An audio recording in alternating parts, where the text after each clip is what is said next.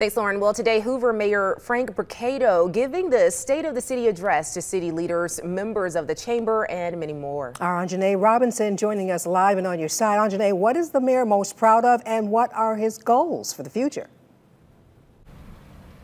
Well, Sarah, Brittany, topics of discussion included public safety, quality of life, the financial climate of the city, as well as the school system.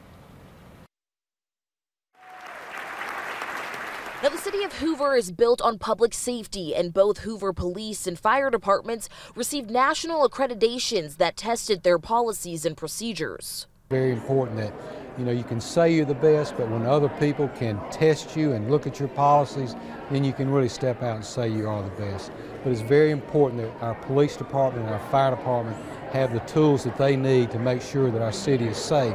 The city recently purchased property to build a new modern fire station on Highway 31. That's coming soon. Now, when it comes to quality of life, the city of Hoover continues to invest in their parks and public spaces, library, and the Hoover Met Complex. The total economic impact of that facility for fiscal year 22 was more than $55 million, and it generated almost 70,000 hotel room nights throughout the region. Now, projects the city has been discussing for years now are coming to fruition, like the I 459 interchange, redevelopment plans of the Performing Arts Center, as well as residential and mixed use commercial developments coming online. Cahaba Valley Road section of Hoover that will be 120 townhomes as well as some commercial development. And then we're very excited about some things that are going on at the Galleria. You've got two empty big box stores and uh, we're very close to seeing a contract signed where both of those stores are filled up. So that's all good news for the city.